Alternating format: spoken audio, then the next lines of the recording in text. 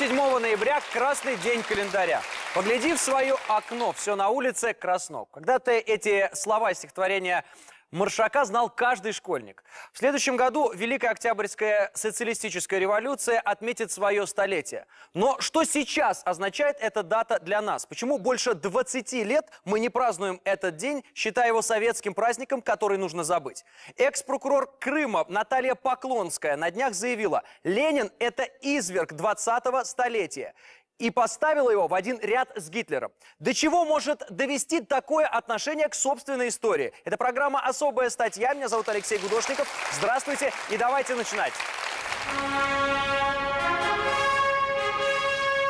До 1991 года 7 ноября был главным государственным праздником в СССР. День Великой Октябрьской социалистической революции 1917 года считался датой возникновения нового государства, основанного на принципах равенства и братства народов. Но вот союз распался, а вместе с ним исчез и праздник. И мнения о значении революции из 90-х годов полярно разделились. Одни заговорили о ней как о чудовищном кровопролитии и незаконном захвате власти большевиками. Октябрь 17-го в их глазах стал позорной страницей советского прошлого. Подобные высказывания до сих пор можно найти на интернет-форумах. Я думаю, если бы не было той ужасающей революции, то, может, и войны бы не было. Эту революцию спланировала кучка людей, имевших большую власть и не желавших процветания Российской империи. Однако, как показывают опросы общественного мнения, 49% россиян считают неправильным, что годовщину революции теперь не празднуют. Вот как пишет о значении революции 1917 года кандидат философских наук Рустем Вахитов. Все те, кто являются патриотами России, кто любит свою великую родину, желает ее государству и народу благополучия и силы, не могут отвернуться от Ленина как от российского государственного деятеля, основателя и первого руководителя той Российской Республики, в которой мы до сих пор живем. И было бы логичным праздник День России, который правильнее именовать День Российской Федерации, перенести с 12 июня на 7 ноября. Так почему же революция вдруг превратилась в предмет для таких ожесточенных споров? Нужно ли было сохранить государственный праздник в честь этого события? Или его ликвидация была правильным решением? Должны ли мы помнить об этой странице нашей истории? Или нам следует вычеркнуть ее из народной памяти? Это программа «Особая статья» и сегодня в студии Дмитрий Новиков, первый заместитель председателя Комитета Государственной Думы Российской Федерации по международным делам. Павел Грудинин, директор ЗАО «Совхоз» имени Ленина. Владимир Булдаков, а, главный научный сотрудник Института российской истории. А, Юрий Пивоваров, академик РАН. Илья Шаблинский, член Совета при президенте Российской Федерации по развитию гражданского общества, Иван Миронов, кандидат исторических наук и адвокат. Но первый вопрос у меня будет а, к Рустему Бахитову, кандидату философских наук, как раз автор статьи, которую мы упоминали в сюжете. Рустем Ринатович, я правильно понимаю, вы хотите э, э, сделать так, чтобы 7 ноября был главным, одним из главных государственных праздников в России сегодня? Отказ от этого праздника – это, по сути дела, подрыв легитимности нашего государства. Мы просто мало задумываемся над тем, а в какой же республике мы живем. То есть почему-то считается, что Российская Федерация возникла в 91 году. Но 25 декабря 91 года Верховный Совет РСФСР принял решение лишь о переименовании этого государства из РСФСР в РФ. Мы, по сути дела, все равно живем в государстве, которое было провозглашено 7 ноября 1917 года вторым съездом Совета. В 18 году стало Федерацией, в 22 вошло в состав СССР. И наряду с праздниками, которые установлены для почитания нашей славной имперской истории или славной нашей дореволюционной истории, конечно же, должен быть праздник основания учреждения Российской Республики, или как вариант День РСФСР, который, который логично было бы установить именно 7 ноября. Да, понял. Спасибо большое за мнение. Иван, я э, к вам хочу обратиться. Ну вот э, позиция кажется аргументированной. Почему нет? У нас э, есть праздники, например, День народного единства, 4 ноября. Почему бы и не праздновать 7 ноября? Ведь действительно великий день. Или нет? День 7 ноября – это день государственного переворота, захвата власти, который породил за собой вот этот беспощадный красный террор, который был направлен на целые слоя населения, когда уничтожались люди не как политические враги, а как опасные и потенциально опасные, о чем говорил в свое время Бухарин. Поэтому, конечно, как дату памяти и траура 7 ноября должно остаться, чтобы наше следующее поколение, они понимали, что такое история России Но не праздник. и кто есть кто, ни в коем случае. А гражданскую войну что-нибудь слышали про нее? А, вот смотрите, что касается гражданской войны, ну, конечно, это, это и- и, э, явилось протестом после разгона учредительного собрания, когда большевики не смогли получить никакой Подожди, а народной поддержки, и пришлось уничто- уничтожать те классы, которые отказались в поддержке Не, ну- и оказались э, а, стать вот Вы этим... про февральскую революцию что-нибудь знаете, да? Вы меня сейчас хотите потестировать Да вы на знание говорите истории? глупости. Понимаете, как все Глупости, время... вот, Да. объясните, объясните. Объясняю. Россия, конечно, страна с непредсказуемым прошлым. Вы все время можете переписывать историю сколько угодно. Павел Николаевич, я бы Секунду. вас э, попросил бы все-таки вот от этих терминов глупости, я говорю, не глупости, я говорю, что вы будете говорить гениальные вещи, Нет, я не бесспорно. буду говорить гениальные. Я- Как я директор буду- совхоза вы нам расскажете абсолютно гениальные вещи. Хорошо, подождите. Да. А, Павел Николаевич, а с чем вы не согласны Ну, конкретно? давайте так. Вот А, Родилось государство. Да, оно родилось. Российская Федерация, Российская а, Социалистическая Республика, которая а, родилась благодаря Владимиру Ильичу Ленину. Именно тогда, когда вы рассказывали, что это, скажем так, э, совсем все плохо.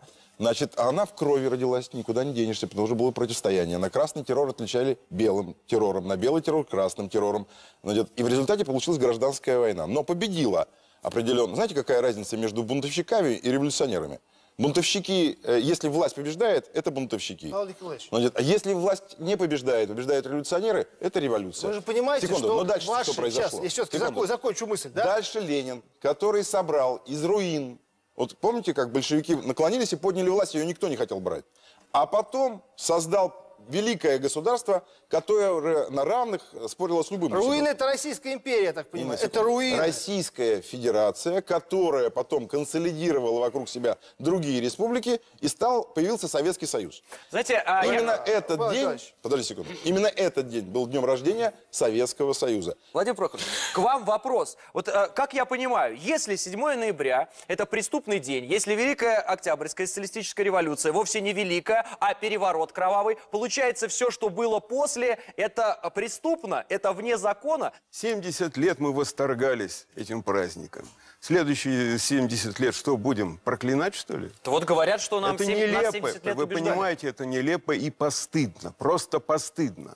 Вчера мы ставили памятники Ленину, Сталину. Сегодня их сносим подряд. Это, извините, бред сивой кобылы. В цивилизованных странах такого не бывает. Там уважают свое прошлое, каким бы оно ни казалось.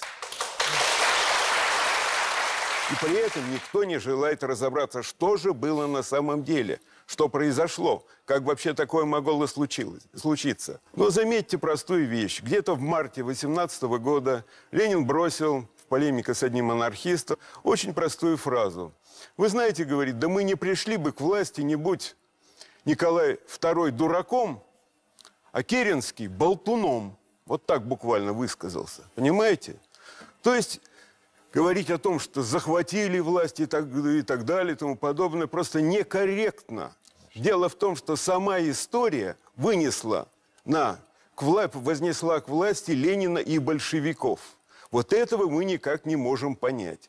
Сейчас мы должны прерваться на рекламу, а после вы узнаете, почему министр культуры Мединский требует убрать Ленина из мавзолея, а Жириновский расскажет, зачем нужно переименовать Ленинский проспект в Москве. Это программа «Особая статья». Меня зовут Алексей Гудошников. Вот уже 25 лет идут споры о захоронении тела Ленина. Создается ощущение, что конца им не будет никогда. Кого и почему так злят останки вождя мирового пролетариата на Красной площади? Смотрим сюжет. Вот уже почти четверть века не утихают дискуссии, что же делать с телом Ленина. Следует ли вынести мумию вождя пролетариата из мавзолея и захоронить? Или нужно оставить как памятник ушедшей коммунистической эпохи? Вот какое мнение высказал министр культуры России Владимир Мединский еще в 2011 году порталу РБК. «Я считаю, что каждый год мы должны поднимать один и тот же вопрос о выносе останков тела Ленина из мавзолея. Это какая-то нелепая, язычески некрофильская миссия, у нас на Красной площади. Никакого тела Ленина там нет. Специалисты знают, что сохранилось порядка 10% от тела. Все остальное оттуда уже давно выпотрошено и заменено. По мнению Мединского, тело Ленина как можно скорее нужно предать земле, потому как нахождение идеологического артефакта в центре столицы является вредным с идеологической точки зрения и жестоким как по отношению к родственникам Ленина, так и по отношению к людям, не разделяющим коммунистической идеологии. Заявление Мединского вызвало в прессе горячие споры. Например, его оппонент, писатель и журналист Юрий Шимановский, ответил так. «Нужно похоронить еще и египетские мумии и снести музеи, где они хранятся. К чему это я? Я опять про двойные стандарты. Если уж решаем хоронить мумии, то все. Если оставляем как есть, то тоже все. Тело Ленина – уникальный объект, каких в мире по пальцам можно пересчитать. А сам мавзолей находится в списке культурных ценностей мирового масштаба. А что же думают на этот счет обычные россияне? Согласно опросам общественного мнения в ЦИОМ, две трети жителей России выступают за перезахоронение вождя на одном из российских кладбищ. Программа «Особая статья». А, Юрий Сергеевич, хочу спросить вас, потому что не услышал пока вашего мнения. Так получилось. А, Приношу извинения. Хочу а, понять, 7 ноября, 7 ноября, это праздник все-таки или нет? Нужно ли нам праздновать? И, естественно, нужно ли выносить тело Ленина? Разговоры идут давно. Я буду отвечать на первый вопрос. Для меня это не праздник, безусловно, это трагический день, его надо обязательно помнить, чтобы все помнили и знали. В этот день Россия сорвалась в пропасть. А может быть, даже не в этот день. Кстати, по поводу того, что власти здесь говорили, лежало ее никто не брал, естественно. Потому что люди уважали закон. Учредительное собрание. Ведь правительство большевиков до разгона учредительного собрания тоже было временным. И выборы большевики разрешили провести. Спасибо им за это. Проиграли эти выборы, хотя неплохо выступили. И произвели государственный переворот в ночь с 5 на 6 января 18 года, когда разогнали законно избранное легитимное собрание учредительное, которое должно было учредить новое государство и создать новую конституцию. Конституция была готова, проект конституции был подготовлен. Что же не, не не получилось создать? Хлеба просто Что? не завезли. Почему же не получилось создать? Что создать? Большевики, большевики Причем разогнали большевики? учредительное Люди вышли собрание. на улицу. Подождите секундочку. А как, а как Большеви- Секундочку. Большевики разогнали учредительное собрание. Эсеры, которые знали о возможности разгона, хотели вооружиться. Потом решили, что нет, в братьев-социалистов стрелять не будем. На следующий день начались мощные демонстрации. Одну из них описывает великий русский социолог Петерим Сорокин. Большевики стреляли даже в гимназистов 12-летних, избивали людей, интеллигенцию, которая вышла защищать и рабочих, учредительное собрание. Когда они приняли Конституцию, вы все говорите РСФСР, это была первая в мире Конституция, которая лишала, так называли, лишенцы, лишала людей избирательных и всяких иных прав. Но не в этом дело. А дело в другом. Власть то, как, Советов, то, как Ленин любил Россию, показал Брестский мир. Когда он сдал противнику, с которым Россия воевала три с лишним года, сдал огромную часть России. Прибалтику, Белоруссию, Украину, Дон, Крым и так далее. Вот этот большой патриот России. Что касается Ленина, А потом он все вернул, да? он не вернул. Как не вернул? Большевики, Он избежал миллионов жертв и вернулся потом. большевики, Ну, большевики вернул победили в гражданской войне. Советский Союз. ис- используя огромный массовый террор, на что белые были просто органически, как нормальные, демократически настроенные люди, не способны. Большевики взяли Она власть в октябре седьмого- 17 года, а гражданская война началась, Она началась после весной 7 ноября. 18 А После того, расстрелы кто проводил? как белогвардейцы выступили в опоре на штыки мне- иностранных Ну, интервентов. Ну, это же факты. Ну что вы? Господин коммунист, дайте мне договорить. Чего вы кричите? Вы очень долго говорите, но нельзя же нарушать, Товарищ. э, нарушать Господин- э, господин правду полковник. истории. Хорошо. Своими репликами. Подождите секундочку, а я не закончил. Во-первых, я недолго говорю, я говорю меньше вас. Вы мне мешали сейчас говорить. Это, это в привычках коммунистов. Оппонентов сразу кричи- закричать, назвать глупостью и так далее. Нет, я отвечаю как, как профессиональный историк и как гражданин своей страны. Я тоже я, я не согласен, Владимир. Прохорович, с вами, что мы меняем свое отношение. Почему меняем? Я всегда негативно и знал многих людей в Советском Союзе, которые на негативно площадь. относились к Ленину, к Сталину и к этому режиму. Безусловно. И это не русский режим, это антирусский режим. Прославлять Ленина, это как если бы сейчас евреи прославляли Гитлера. Владимир Прохорович, я хочу все-таки понять, смотрите, какие разные, да, полярные оценки. Может быть, нам не трогать пока нашу историю, немножечко от нее отдалиться и не пытаться тогда спорить на эти темы, потому что ну так жарко, слушайте. Ну, историю надо знать. И я бы это э, моего старого друга Юрия Сергеевича поправил. Насчет Брестского мира, понимаете, еще до взятия большевиками власти, до переворота так на- называемого, последний военный министр Временного правительства Верховский совершенно определенно заявил, Россия воевать не может. Понимаете, не может Россия воевать. И говорит, что Ленин одним росчерком пера э, сдал Россию немцам, ну, это несерьезно просто. Россия не могла воевать, просто не могла воевать. Единственный способ остановить немцев – заключить Брестский мир. Я хочу понять, Ленина-то выносить нужно или не нужно? Эти разговоры идут очень давно. Ну, я присоединюсь к тем, кто э, за вынос тела. Я, я действительно считаю, что это странная, странная ситуация, диковатая.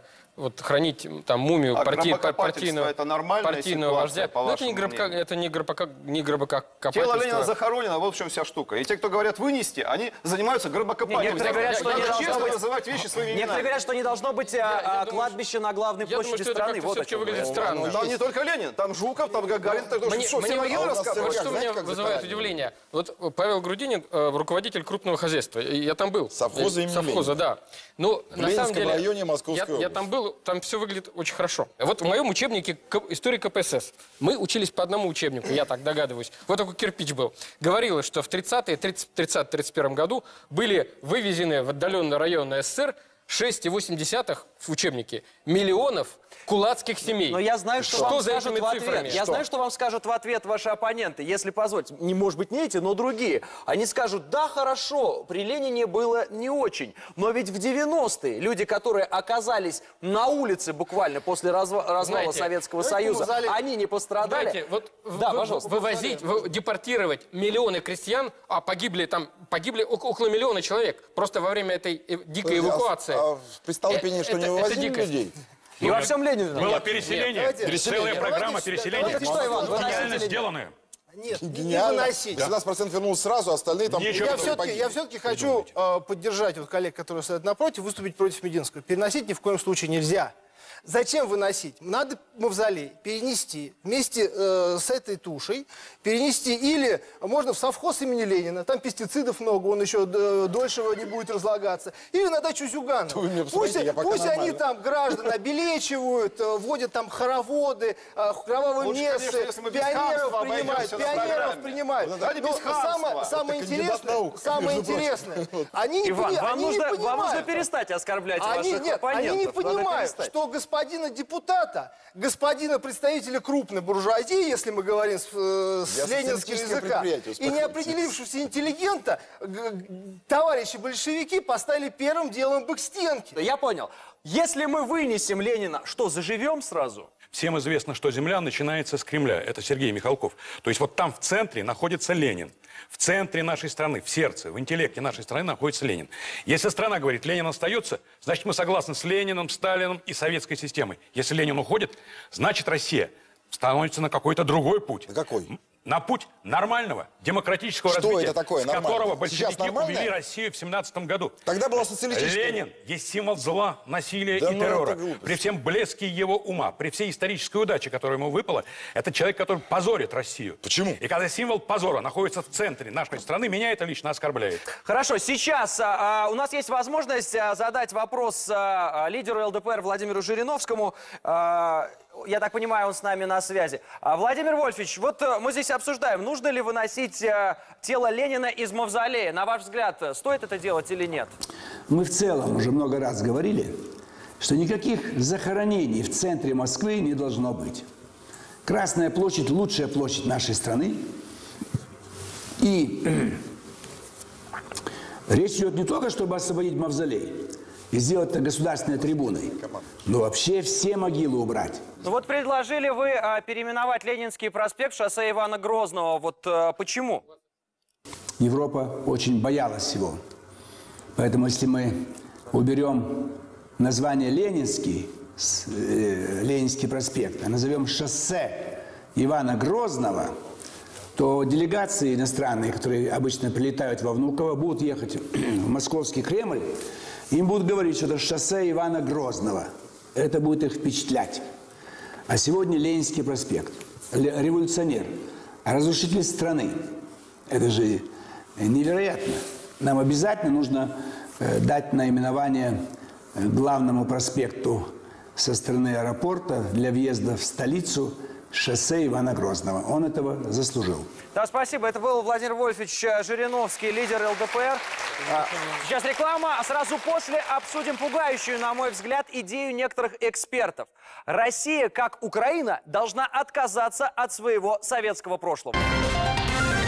Это программа «Особая статья». Меня зовут Алексей Гудошников. Россию призывают отказаться от советского прошлого. Нам предлагают покаяться за свою историю. Удивительно, ведь американцы, например, так и не извинились за ядерные бомбардировки Японии. Так почему именно от нас требуют покаяния? Смотрим сюжет. Идеи декоммунизации вновь стали модным трендом. Сторонники кричат «все советское уничтожить», Ленина захоронить, красные звезды с Кремля снять, улицы и города переименовать, памятники снести. Долгое время сохранение названия станции метро Войковской было под вопросом.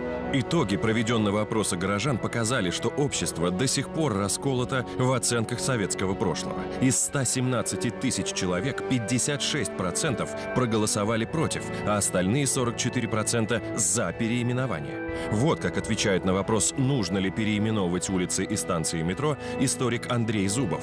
Это не просто давно назревший вопрос. Он уже основательно перезрел. Недостаточно переименовывать отдельные станции. Необходимо более широкое переосмысление реалий коммунистического тоталитарного прошлого. А какие примеры могут дать Ленин и Войков, кроме душегубства, воровства и захвата власти? Большевизм – это наш ИГИЛ.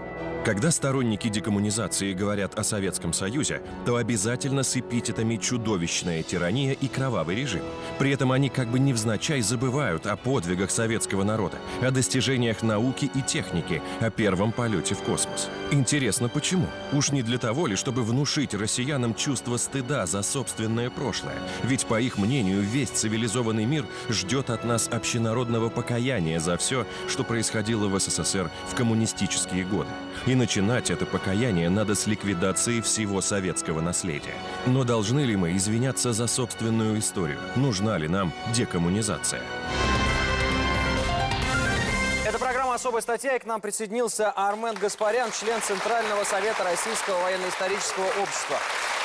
Армен, а зачем переименовывать Ленинский проспект, например, в шоссе Ивана Грозного? Это шутка.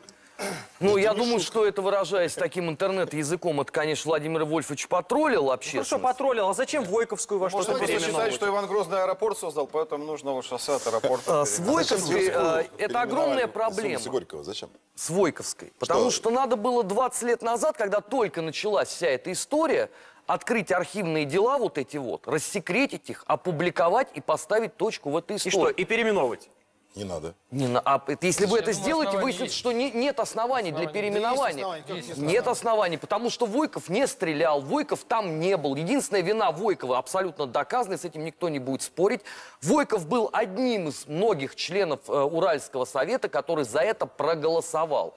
Но если вы хотите убирать Войковскую... Армен, Да. вот посмотрите, Армен, вот Если сейчас... вы убираете Войковскую, то у меня вопрос, а все остальные топонимы, которые связаны вот с этим, почему никого не останавливают? Вот в Москве есть улица Атарбеку. Вы много слышали людей, э, ну, кроме вот Ивана, наверное, да, Иван последователь с этой точки зрения, а вот все остальные, многие выступили против э, того, чтобы в Москве была улица Атарбекова. Да ничего подобного. А знаете почему? Потому что никто даже не знает, кто Никто не это. знает, кто такой Атарбеков. Я понимаю. А, Юрий Сергеевич, а, вопрос-то простой. Да, может быть, Владимир Вольфович и пошутил про шоссе Ивана Грозного. Но, тем не менее, разговоры о том, чтобы переименовывать улицы, а, которые носят а, имя Ленина, а, они существуют до сих пор. Так нужно переименовывать или нет? Говоря об истории, мы выбираем будущее. Говоря об истории, мы говорим о сегодняшнем дне. Если мы солидарны с убийцами, значит, у нас нет пути. Если мы солидарны с жертвами, и мы говорим, что мы не хотим друг друга больше убивать и гражданской войны, Войков повинен в том, что он голосовал. Вы сами говорите. Войков соучаствовал в фактическом убийстве Александра Значит, надо Блока. переименовывать. Вдова Войкова, которую я хорошо знал в детстве, рассказывала мне об этом прямо, как он ненавидел Блока и так далее. Для меня смерть одного Блока важнее, чем все эти Войковы, весь этот уральский Сергеевич, значит, Что? надо переименовывать, правильно? Давайте надо переименовывать. вспомним, Да, обязательно надо погиб Войков. Да, надо обязательно переименовать. Надо Войк обязательно был убит, переименовывать. как вы Да, как, как именно он погиб? Да, И его какие были застрелил его последние офицер, слова Да, да, о том, что надо сберечь государственную тайну? Так что, нужно Все- все переименовать эти или идеи, нет? связанные с переименованиями, с уничтожением памятников, с разрушением памятников, это безусловное варварство. Но это варварство, которое имеет э, э, две цели. Первая цель – это советское прошлое, его очернить, его представить в максимально негативном свете. Но и вторая цель – это как раз будущее.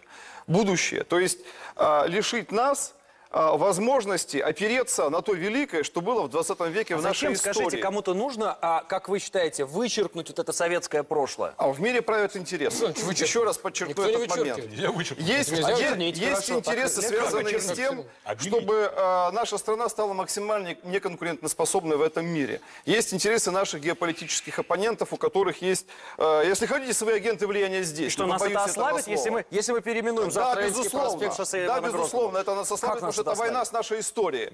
Это попытка а, вот, э, поставить э, страну на колени и заставить каяться за то, что мы победили в Великой Отечественной войне фашизм, за то, что мы до этого создали мощную индустрию, на которой, на которой опирались в борьбе с фашизмом, провели культурную революцию, первыми прорвались в космос. Вот это главное в Причем 20 здесь веке. Ленин? Причем во всем А этом есть Ленин создал эту страну. Сталин уничтожил Ленин всю Ленинскую гвардию. страну, Все, что создал Ленин, уничтожил Сталин. революцию, И построил Великую империю. Вот что сделал модернизацию. Сталин. Победу Поэтому Ленин и Сталин две разные вещи. А вы каждый раз меняете паритет. понятия, извращаете Все историю. это Иван, достижение Иван, нашей да, страны. может быть, Ленинскую гвардию Сталин и уничтожил. может быть, но, но, а но, секунду, я знаю, что это так и есть, спасибо большое. Он бы и Ленина расстрелял, Может быть, это Ленин. да, и произошло. Но Ленин при нем оставался в мавзолее.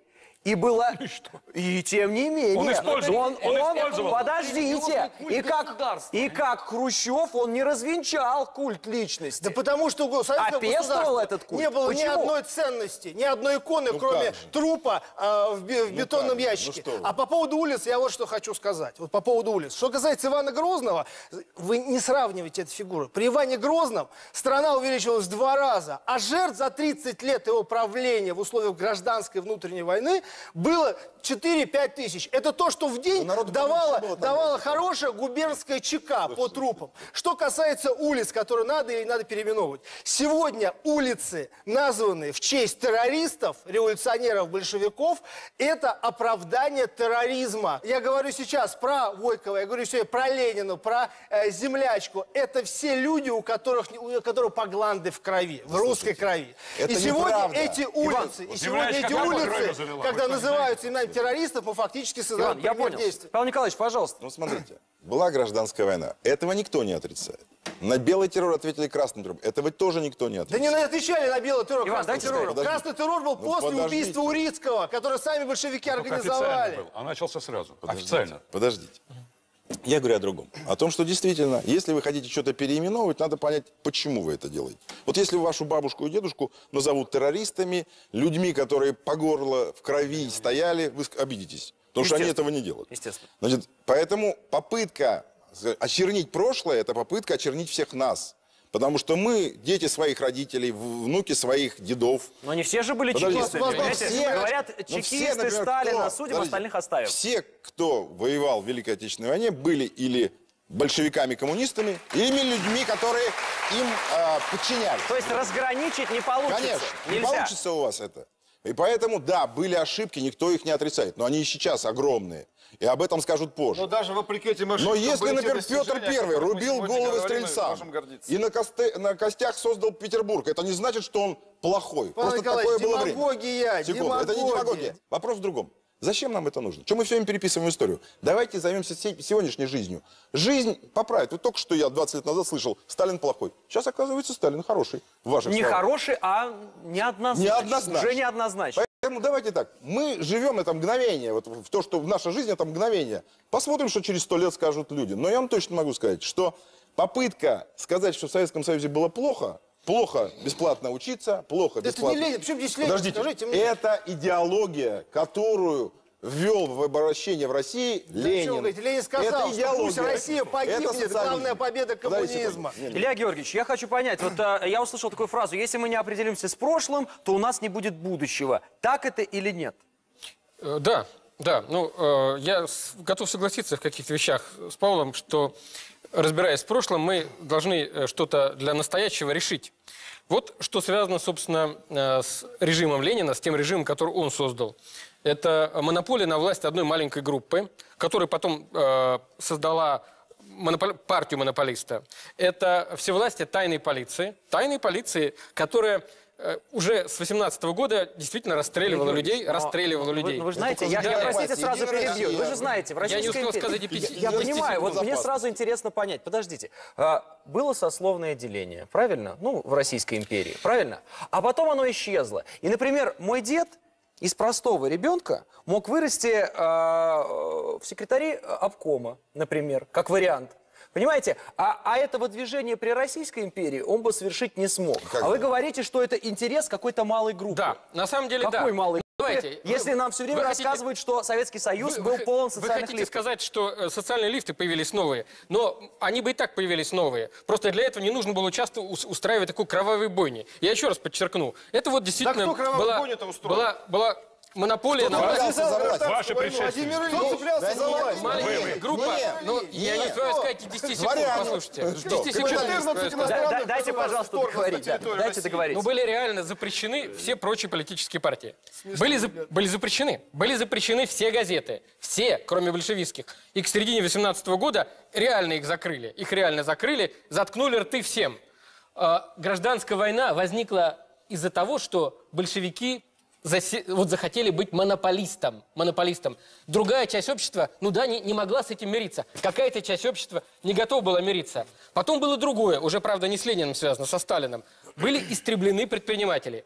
Предпринимательство было истреблено вообще, в принципе, как явление. То есть Ленин придумал НЭП, а Сталин... Сталин его закрыл, да, это- действительно. это, знаете, я, я не это могу сказать, что Ленин истреблял э, предпринимателей, хотя он тоже начал. Это при Сталине Очень понятна ваша позиция, Ну, понятна. вот, вот что нам, вот какое наследие. Вот этого наследия нам не нужно точно. Армен, А- я, а я, я понять не могу. Вот можно я э, я, я слышал, сначала? что Советский Союз это как раз была страна, где было полно социальных лифтов, и простой человек мог вообще Да. во главе государства встать. А, что это не так? Оказывается, это группа Вот лиц, которая узурпировала власть, или что?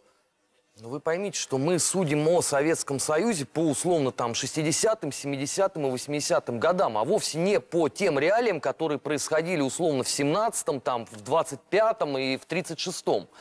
Это две принципиально разные модели. Та модель, которая устанавливалась э, Ленинской партией, начиная с 1917 года, она уже к 19 году начала пересматриваться. Существуют, собственно говоря, многочисленные статьи Ленина по этому поводу. Больше того, сам радикальных э, творцов русской революции, которые, например, э, грозились отменить все деньги. Ленин уже убирает, их нету в руководстве страны. Армен, вы То мне скажите, а власть тактика. народ получил или нет?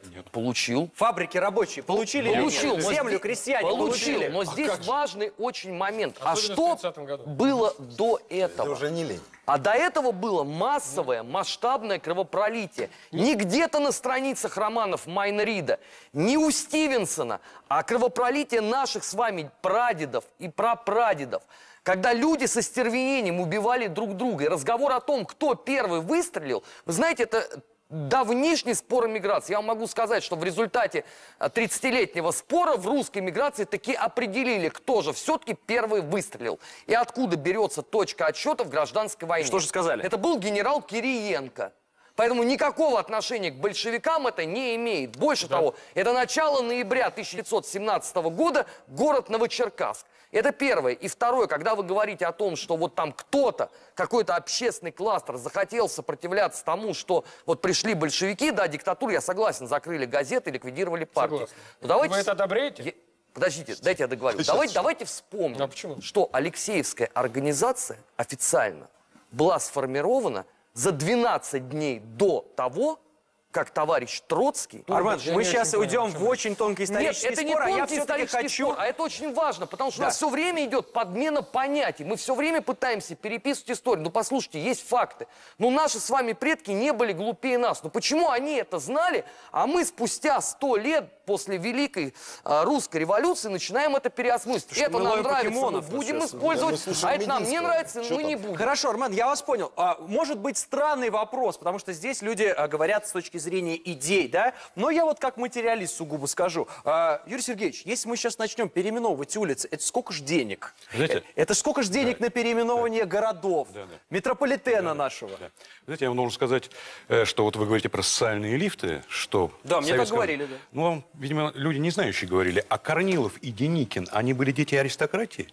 А крупнейший русский реформатор начала 19 века, граф Спиранский, он что был, он граф стал потом. Он был из беднейшей семьи, беднейшего священника. А это не исключение, которое Нет, не подтверждает исключение. правило? Россия демократизировалась, русская элита имперская демократизировалась мощными темпами, безусловно. Что касается земли, которую получили крестьяне, получили. И что дальше? Где она в 30 году оказалась? У государства. Фабрики получили. Они оказались у государства и так далее. Никто ничего не получил. Замечательное бесплатное образование.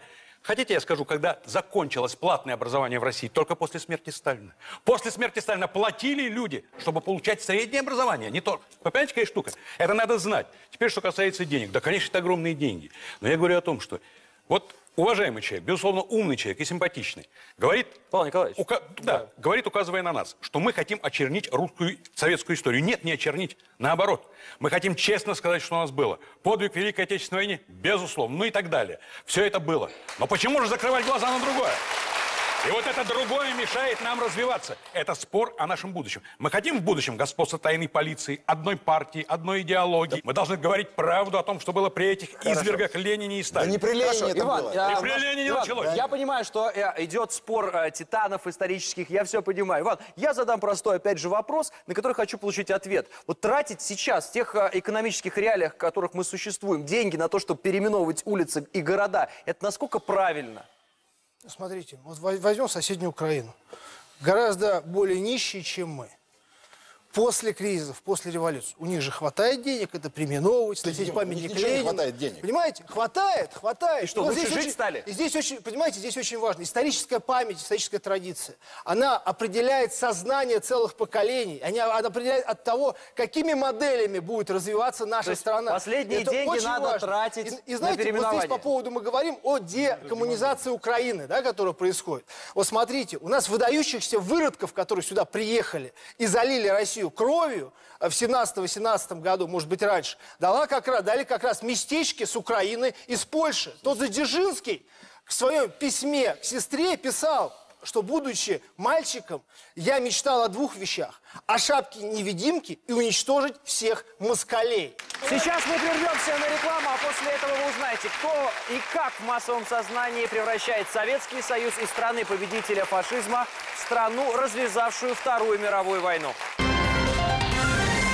Это программа «Особая статья». Меня зовут Алексей Гудошников. Советский Союз освободил мир от фашизма. Наши деды избавили человечество от коричневой чумы. Этому нас учили в школе. Это нам говорили родители. Но однажды мы услышали другое. Советский Союз сам был чумой, только красный. А воин-освободитель на самом деле оккупант. Кому нужна такая история? Смотрим сюжет. По всей видимости, если сторонники декоммунизации все же добьются своего и ликвидируют все советское наследие, то следующим их шагом станет создание в России новой истории. И, похоже, плацдарм для этого они готовят уже сейчас. В интернете то и дело появляются статьи, где СССР представлен агрессивным оккупантом и колонизатором соседних территорий. Вот, например, такие. СССР в 1939-1940 годах оккупирует 50% территории Польши, Западную Украину и Западную Белоруссию, Литву, Латвию, Эстонию, Бессарабию, Северную Буковину, 11% территории Финляндии. Всего СССР оккупировал за первые два года Второй мировой войны территории с населением 23 миллиона человек. В этих статьях жизнь колоний Советского Союза представлена как одна сплошная борьба с оккупантами. Освободиться от коммунистической красной холеры, именно так описывается социалистический режим, Европа смогла лишь после распада СССР. Не забывают напомнить и о пакте Молотова-Риббентропа, после подписания которого Советский Союз начал оккупацию соседних территорий, а заодно и Вторую мировую войну. И сейчас Россия, как правопреемник, должна за это ответить. Вот, например, отрывок из статьи публициста Германа Обухова на портале «Радио Свобода». Кто-то усомнится в утверждении, что Россия – это страна-агрессор. Более того, Россия – правопреемник СССР, который тоже выступал в качестве страны-агрессора. Корни современной агрессии России можно найти как в советском прошлом, так и в настоящем. Кстати, в бывших советских республиках такая точка зрения уже давно считается истиной в последней инстанции. Чему тут удивляться, если уже несколько поколений в Прибалтике, Грузии, Казахстане и других странах выросли на аксиоме СССР был колонизатором, многие годы угнетавшим их народ. При этом их страны в Кремле расценивались исключительно как сырьевые базы, откуда можно неограниченно выкачивать ресурсы. Так для чего историки искажают события советской эпохи? Кому и зачем нужна сфальсифицированная история России? Это программа «Особая статья», и к нам присоединился Давид Шнейдеров, журналист, и Иржи Юс, журналист из Чехии. Я хочу понять, Советский Союз, он освободил Европу или не освободил Европу? Давайте я начну с того, что все-таки надо признавать э, право суверенных государств на свою собственную историю. Каждый свой, свое государство воспринимает свою историю по-своему. И Россия, и Украина, и Грузия, и Чехия. Да, А вот поэтому у ключевое нас... слово каждое государство воспринимает свою историю по-своему.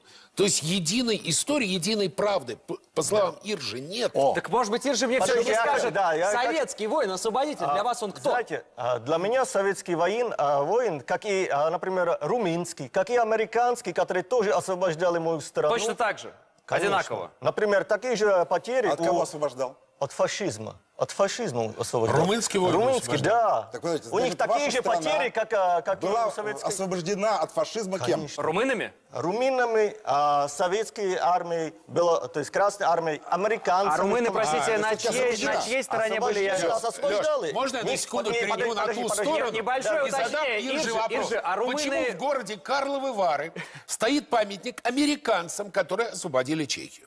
Простите, я перейду на ту сторону.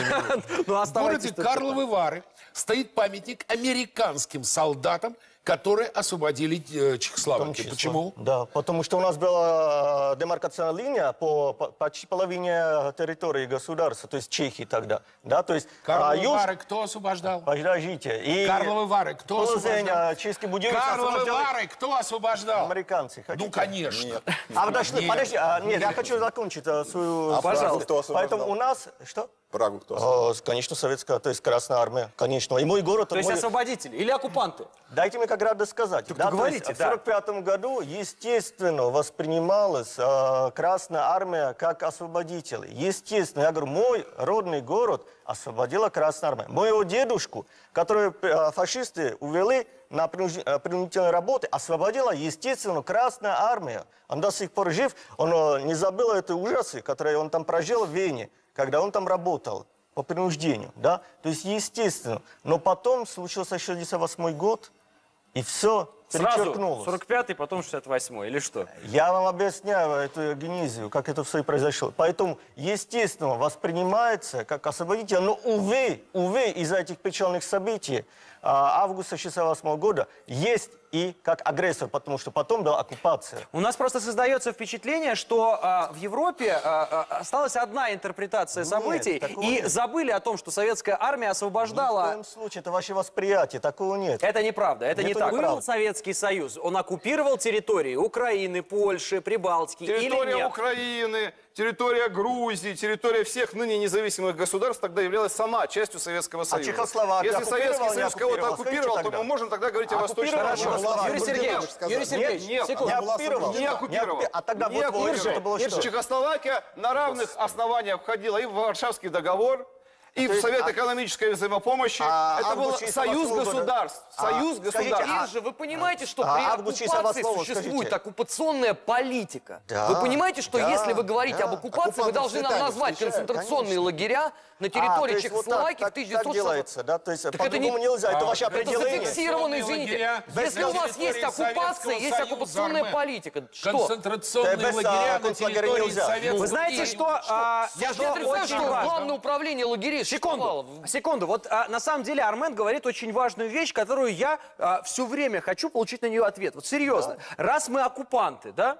Уж не знаю, как там в Чехии вы сами скажете. Ну вот пример Украины и Прибалтики. Оккупанты, которые создавали заводы, строили школы, в некоторых а, а, а, местах даже создавали язык, помогали. Как-то это не вяжется вообще со словом Я говорю, это оккупант. их ощущение, я говорю про ощущение Чехии. Мы обсуждаем не только Чехию. Позиция по Чехии ясна от и до. Спасибо большое. Юрий Сергеевич, объясните, пожалуйста, как как можно называть оккупантами ту страну, которая строила фабрики, заводы, а, вкладывала деньги? Ну, вы знаете, Прибалтика а, это, была, а, это была витрина Советского Союза. Что-то э, я не припомню, чтобы какие-то страны вкладывали деньги в свои колонии. Или так было? Знаете, какая штука? Э, Русскому человеку на эту тему очень сложно говорить. Действительно была великая, оплаченная кровью наших людей, великая победа и освобождение. Кстати, мой отец в составе Второго Украинского фронта освобождал тоже Чехословакию. Вот, и был ранен. так вот, Конечно, мы освободили Восточную, Центральную Европу в 1945 году. Тут нет никаких вопросов. Это вечная слава А потом нам. оккупировали? Нет. Потом были установлены режимы из Москвы. Народы не принимали этих режимов. Посмотрите. Восстание летом 53 года в Берлине, которое было подавлено танками. 61 год, 13 августа, устанавливается стена. Сейчас. Я про Германию сейчас говорю. Дальше. 56 год Венгрия. 68 Ч- Ч- Чехословакия. И постоянно Польша под нашим домокловым мечом, вплоть до того, что если бы Ярузельский не вел в 81 году чрезвычайное положение, наши танки готовы были туда уже войти. Почему-то эти страны не хотели жить в рамках этих режимов и под Почему? этими режимами. А я отвечу почему. Потому что они хотели развиваться по-своему. Они считали это навязанную кремлевскую, коммунистическую, московскую, российскую модель, не подходящей для этих стран. И они сейчас так считают. И мы будем, мы будем уважать их мнение, но мы будем бороться против тех, кто вычеркивает наших солдат из героев, которые освободили. Что касается Прибалтики. Там Да. до начала, даже середины 50-х годов, как вы знаете, шла борьба. Да, партизанская борьба, лесные братья. И там были не только наследники эсэсовских частей, о которых мы сейчас говорим, сейчас маршируют у них Подождите там эсэсовцы. Безусловно, это полное безобразие. Это отвратительно совершенно. Но там часть народа не принимала советскую власть. И то, что мы их оккупировали в 40 году, это позор для нас. Какой бы геополитической не оправдывал за это Юрий. Сергеевич, меня знаете, что удивляет? Вы говорите, мы их оккупировали, Да, говоря... мы их оккупировали. Секунду, а, Да. секунду, говоря о Прибалтике. Но не проходит. Секунду, Ну, секунду, пусть у вас секунду. не проходит. Прибалтика Секунду. вступила в состав Да, Советского нет, Союза через- решение а, вы не знаете, как это было. их говорите? власти. Ну что? Секундочку. Вот Пакт смотрите. Молотова-Риббентропа, который здесь показывали, это не только раздел Польши, это и раздел мира, секретные протоколы к этому. Кстати, вы знаете, что мы за них уже покаялись давно или нет? Прекрасно. Да, Так же, как союзники. В декабре должны знать, 89 что- года. Это такой же позор, а, как и Алексей. Подождите. Тол- Только одна справка. Вот э, начиная с 48 года до 69 чехословацкое машиностроение, которое и до войны было на хорошем уровне в Европе, а, вообще 19 выро- века, вы- извините. выросло, в- выросло а, в 13 раз благодаря заказам из Советского Союза и других стран Вот Совета что удивительно, 13 почему, раз почему сейчас, почему сейчас, когда. Прибалтика свободная, простите, когда Украина такая свободная и незалежная, почему у них ничего не А вы строится давно и не растет? Скажите. Вот я летом Почему? был в Литве. Все растет и развивается. Польша развивается очень сильно и энергично. Литва, например, на моих глазах, я в августе там был, великолепно развивается. Да, посмотрите, а, посмотрите, смотреть? это а, Латвия. Латвия. Латвия, пожалуйста. Я это, говорил только. да, я понимаю. А это вот жители Латвии, популяция, так сказать. Сколько людей было? Годы э, жестокой, бесчеловечной со- э, советской оккупации до 90-х растет население, и после сразу стремительно падает.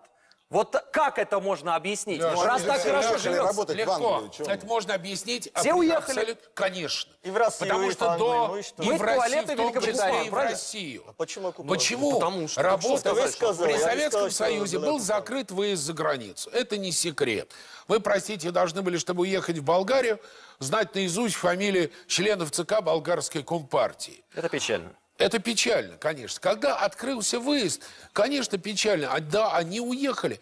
Это идет некая естественная ротация населения. А Евросоюз... не вымирание страны это идет? Не- Вы не путайте. Вы говорите Это ротация, а больше похоже на вымирание. Ротация населения? А вы уверены, что нужно столько народу, что в Латвии есть столько Страшные идеи мест, про то, а, что не нужно столько народу, я мест, когда-то слышал. Столько заводов, столько А что же их не создают, эти прочее. заводы? А что же что же создают просто создают? медленно? А, Мы сейчас, можно на секунду? Мы Олег Ильич, сейчас обсуждали 68 год. Народ, к сожалению, к вашему, наверное, относился к русскому народу, к российскому, к советскому очень хорошо. Павел Николаевич, А когда, сейчас когда назвали нас оккупантами? Вот Коротко. сейчас пытаются рассказать, И что сейчас проблемы Украины, проблемы Латвии, проблемы в том, что, извините, там когда-то кто-то э, что-то То есть опять проблемы современности пытаются оправдать? Попытка все время свои недоработки, свои неудачи. Я вам скажу другое. Можно На потом? прошлое сложить. Нет, просто короткий. Вы, вы простите, вы все время смешиваете. Я не Это смешиваю, я вам правду вы. говорю. Сейчас, Да, одну 10 секунд нам на рекламу надо Сейчас, идти должно. 10 секунд.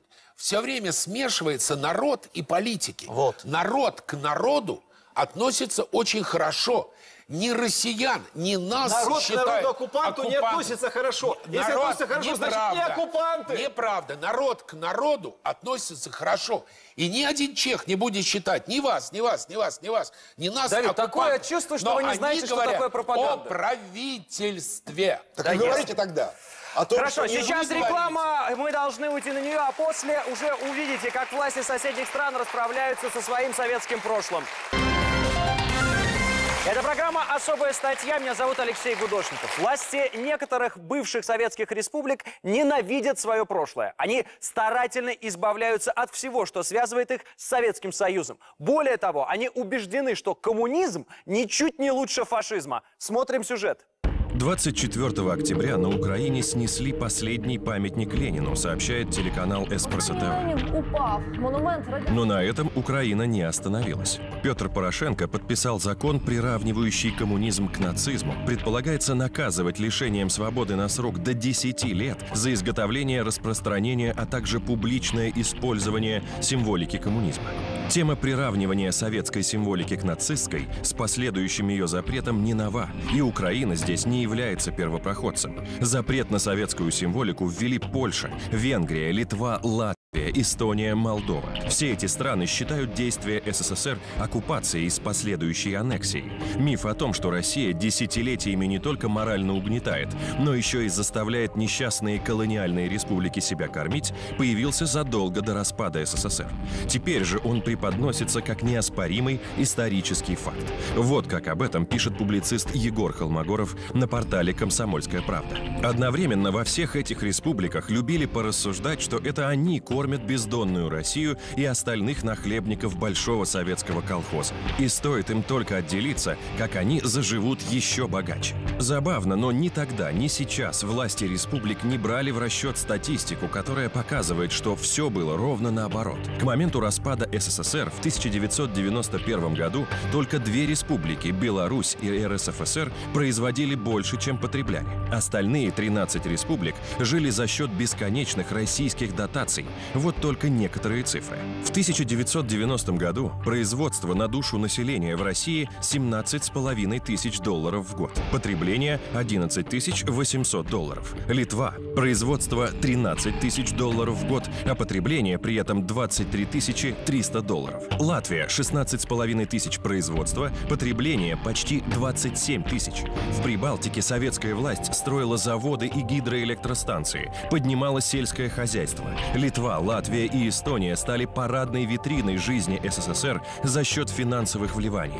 И после этого именно эти страны открыли в своих столицах музеи, посвященные периоду русской оккупации. Интересно, зачем же агрессоры и оккупанты так много вкладывали в экономику своих колоний? Почему в бывших союзных республиках вдруг забыли, что десятилетиями жили за счет России?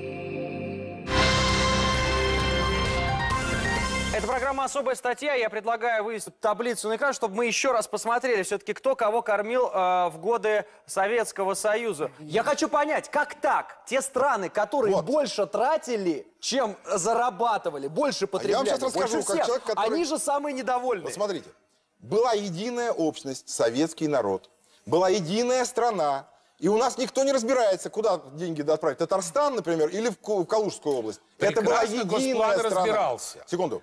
Что Это мы касается не Госплана, разбирались, вот у нас тут 7 человек, как вы сказали, да? А кормит всех один. Правильно. Получилось. Конечно. Значит, я вам о другом говорю. О том, что да, есть разделение. Вы работаете мозгами, мы работаем руками, но во всех странах мира есть такое разделение. А нефть на чьей территории? На российской. А Газ деньги от этой нефти На куда российской. направлялись? В Молдавию, в Лат- Конечно. Литву, в Конечно. Латвию. Ты Что? будешь нам лоялен? Я тебе дам такую Нет, подачку. ничего такого Ты не было. будешь, тебе Если дам. порт надо было строить, Лёш, его никто в Беларуси не строил, там моря нет.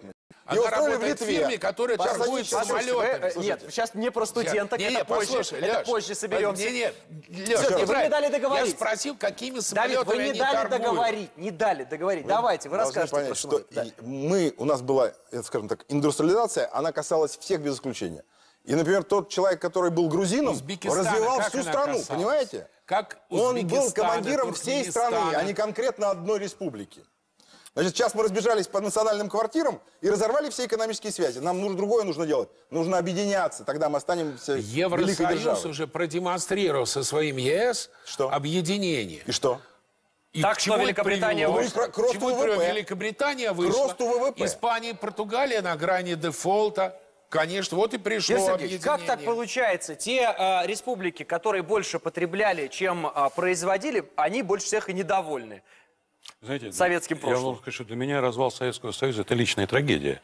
У меня, значит, мать моего сына, она украинка, и мы очень тесно связаны были с Украиной. А теперь мне даже поехать туда практически невозможно, хотя для меня Киев такой же родной город, как и Москва.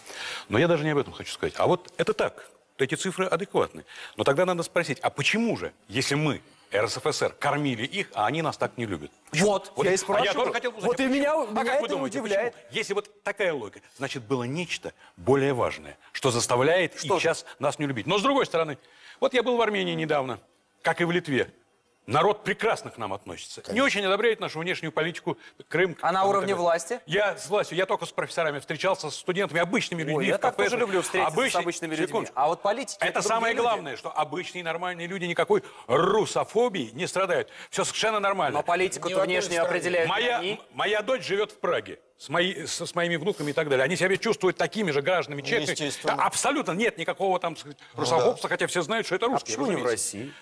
Ну, хотя то живут там, свободная страна. Правда. Сын здесь живет, дочь там живет. Правда. Чехия прекрасное государство, Прага прекрасный славянский город и так далее. Тем Почему там более сколько жить? русских там, только И масса Праге русских и так 20 далее. тысяч, Но да. И надо задать вопрос. как. Почему, если мы их Конечно, кормили и поили, они народ, нас и- не Так я этот вопрос так, задаю. может быть, мы Так ответьте такое- мне. Может быть, все-таки что-то такое было в коммунистическом Что? режиме? Я... Что-то, По- По-моему, что-то мою позицию вы знаете важнее. хорошо. Да. Что? важнее, Что-то наверное? важнее кормежки. Суверенитет, определенное свое будущее, не А, так ли? назначение властей из Москвы. То есть Понимаете? назначение властей из Вашингтона это выгоднее и правильно. А это вообще опять А когда первый восприятие, секретарь никто не местный, назначает. а что А по поводу назначения из Москвы, не Подождите, восприятие. подождите, Леша. А вы хотите Союзе сказать? Не что председатели ЦК э, Коммунистической партии Армении, Грузии, Азербайджана, первые секретари не были.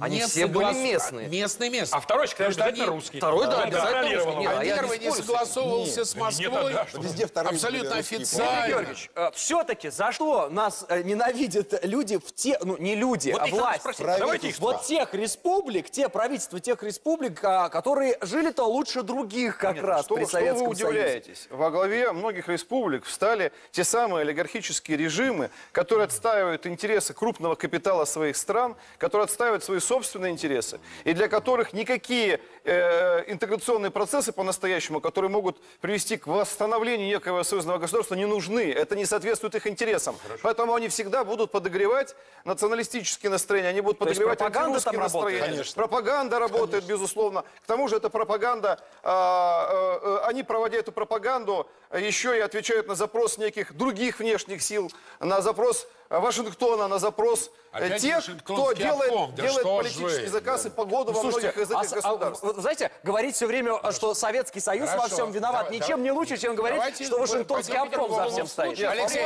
Владимир Ильич давайте. Ну, что они считают зоной своих национальных интересов весь мир. Армен, скажите, почему не любят так в тех республиках, которые жили лучше всех? Лучше всех жили, но это факт. Почему так не любят Советский Союз? Почему они его ненавидят? Почему сносят памятники? Ну, называют это Они искренне считают, что вот это вот, на то, что вот все- эти не вот таблицы, далеко. это Не как все раз власти. насильственная Узкая группа, оккупация. Вот узкая мы же группа говорили людей здесь в программе, да, что преступно построенная промышленность, незаконно развивающаяся культура. Вот вам, пожалуйста, вот эти все данные, это вот туда и ложится. А еще раз вопрос. Вы признаете э, суверенное право суверенных государств на свою историю? Признаете или не признаете? Да. Признаем, Вот, видите, почему тогда удивляетесь, что они хотят определять Но свою почему историю? эта история Да противоречит здравому смыслу? История обязательно должна носить русофобский дело. Нет, характер. нет, не нашему. Подождите. Это их дело, не Иржи, так ли? Иржи, почему? это и наше дело реагировать Почему? на это. Почему? Потому что А Россия вас- великая держава, Ну, она хорошо, была, а- есть а и будет. Даже если вам это не нравится. Эстония суверенная сейчас мы уходим на рекламу. После студии у нас появится Алексей Егоров, ведущий программы «Военная приемка» на телеканале «Звезда». Он расскажет о том, как прятали Кремль во время войны, об эксклюзивных фактах, которые легли в основу его нового фильма.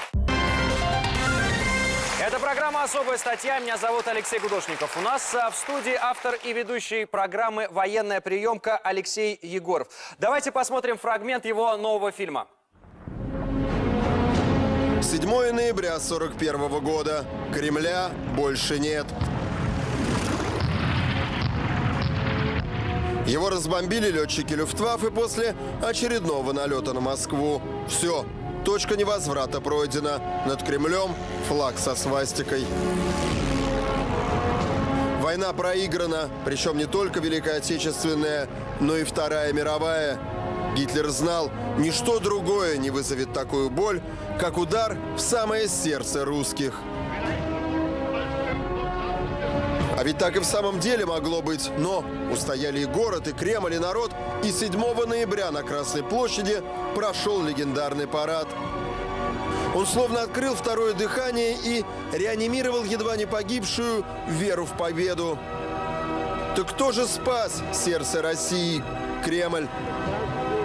О подвиге летчиков, зенитчиков, да и простых москвичей говорили не раз. Но есть в этой истории одна тайна, о которой даже сейчас знают лишь немногие. Алексей, а о какой тайне идет речь?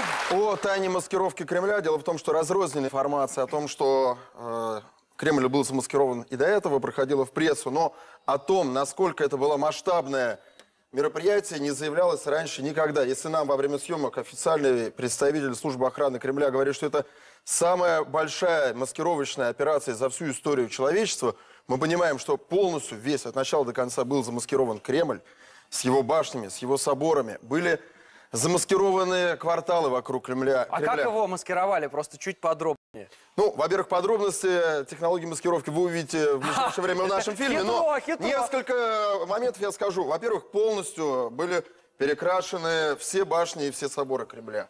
Раз.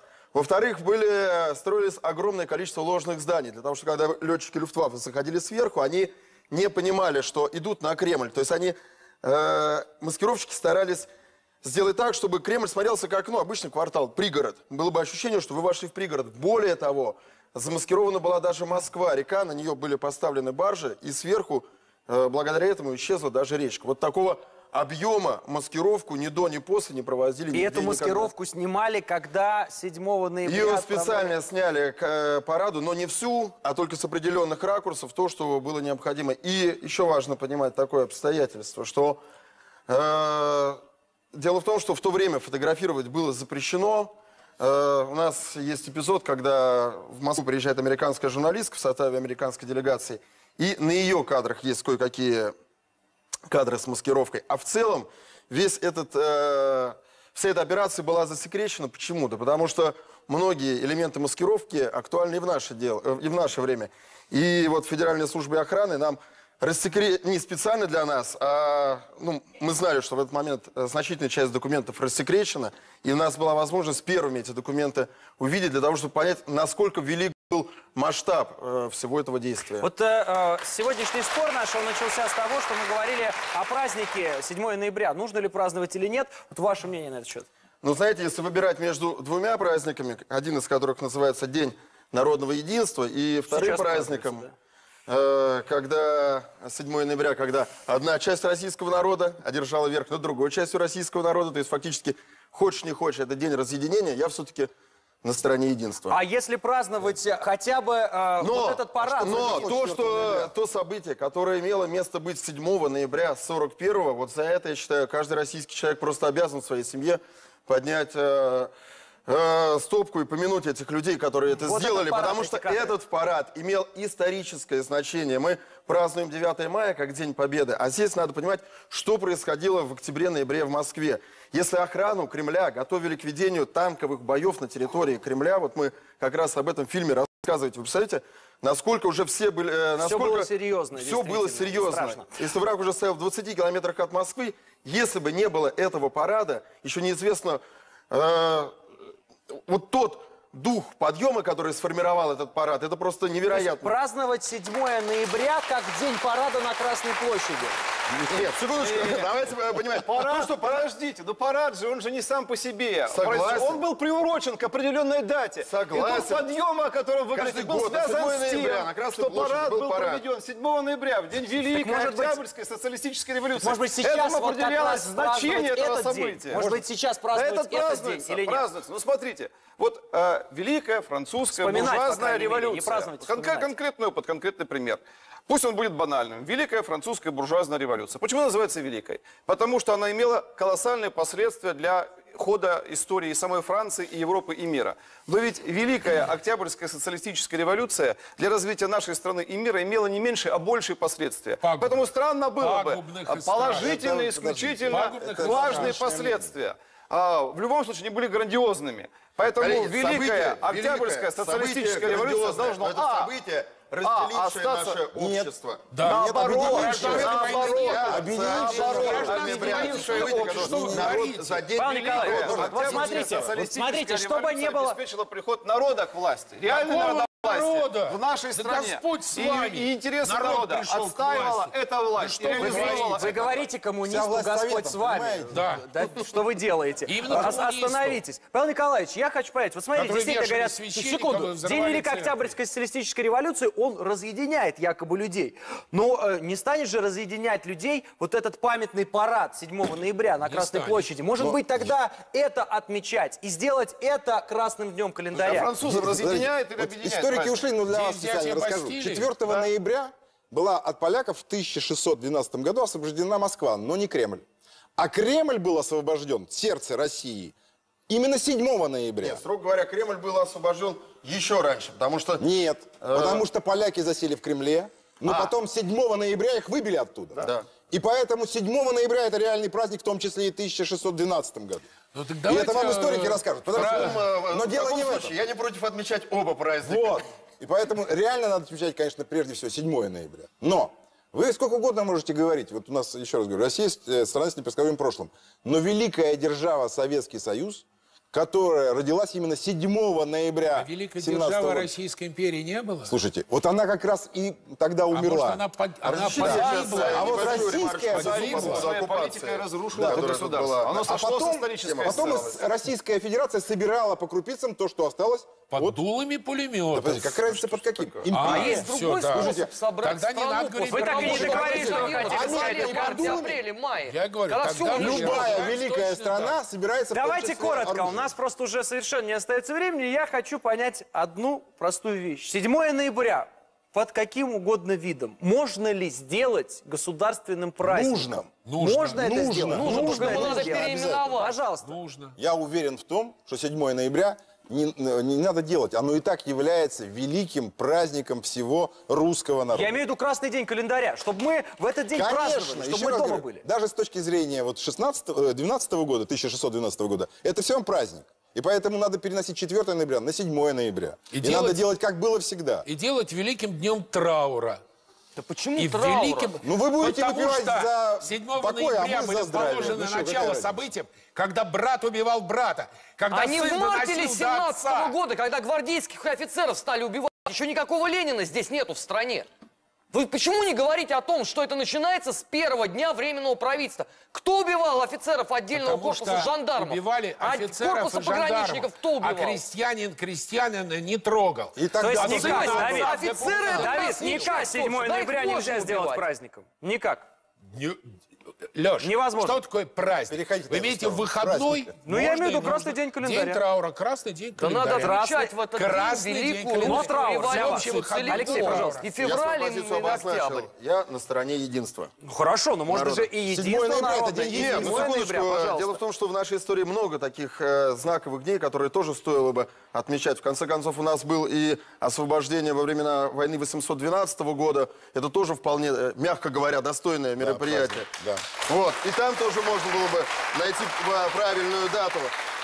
И, 12 кстати, разрешите апреля. я сейчас секундочку маленькую ремарку. Вот здесь обсуждали, оккупант России или не оккупант. Все забывают одно обстоятельство. Приведу пример. Вот у нас э, освободительный поход 45 года. Все признали, что мы сначала были освободителями, и только потом нас называют оккупантами. А вы забываете, например, освободительный поход Суворова 1000, э, 1799 года, когда мы прошли, освободили Европу, но мы не обозначили свою позицию в Европе. Чем это закончилось? Тем, что через 12 лет к нам пришел Наполеон, хотя в тот момент Суворов его мог выгнать. Это говорит о, том, что если ты освободил, все-таки ты... Ты должен удерживать. Должен, нет, нет, не Удерживать удерживать. порядок. Должен обозначить свою позицию победителя Обозначить и жестко Хорошо, то есть этом заявлять. все-таки, да, а, Армен, нужно сделать э, 7 ноября красным днем календаря или нет? Я давно уже говорю, что в этот день нужно отмечать целиком и полностью весь процесс 17 года. Великую русскую революцию. И события февраля, и события октября. Не нужно придумывать велосипед. Даже в то время большевики прекраснейшим образом понимали, что не будь февраля, никогда не было бы октября. Почему мы сегодня пытаемся все пересматривать? Это великий вопрос, да, но он скорее, наверное, в области психологии лежит. В этот день нужно вспомнить всех убиенных. Вот есть замечательные строчки Ивана Савина. «Всех убиенных помяни Россия, и когда приедешь и во царствие твое». А есть еще лучшие строчки. Вспомним всех поименно, горем вспомним своим. Это нужно не мертвым, это нужно живым. Так я же не Дмитрий против, я Георгиевич, наоборот а, за я это. так понимаю... э, Только не время нас- вычеркивать никого. Армен, у нас очень мало времени. Э, э, Дмитрий Георгиевич, я понимаю, что вы-то против праздника 7 ноября, не- ну не выступите точно. Но есть нюансы. Февраль был в феврале, октябрь был в октябре. Февраль э, связан с приходом 17 года, с приходом к власти буржуазного правительства, которое не справилось. Страна пошла в разнос, фактически она была уничтожена, Ближе- стала ближе к расползаться. теме, ближе. А в октябре 17 года пришла та власть, которая, а, а, обеспечила реализацию интересов народных масс, и, б, обеспечила восстановление нашей единой Иначе страны. в конечном счете, она... Я вас не перебивал. Советский, И, в виде и Советского Союза в армию 22 распустить. году была восстановлена было восстановлено то территориальное единство в, тех границах, в тех рамках, в которых существовало в свое То есть время. вы считаете, что мы сегодня наших зрителей можем поздравить? Я хочу всех, кто смотрит нашу программу, э, поздравить с этим праздником, с Днем Великой Октябрьской социалистической революции. Или переворот, или кровавый переворот. Революция. А на сегодня это все. Я благодарю всех экспертов, которые пришли сегодня в студию. А Сразу после нашей программы новая серия цикла «Военная приемка. След в истории». Операция «Кремль-невидимка». Это была программа «Особая статья». Меня зовут Алексей Гудошников. Увидимся завтра в 20.30.